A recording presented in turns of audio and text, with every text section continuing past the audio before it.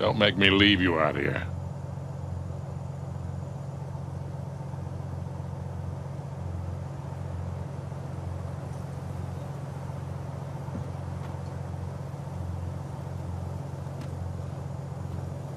Yeah.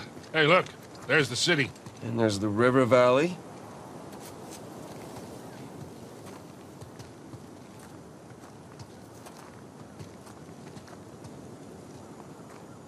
I actually dealt with Alcazar a few decades ago. Oh, shit. How are you still alive? Well, he wasn't quite the man he is today.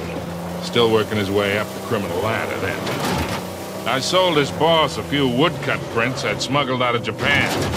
He was into shoguns and such. Alcazar was the go-between. What was he like? Soft-spoken but intense, like you could explode at the slightest provocation.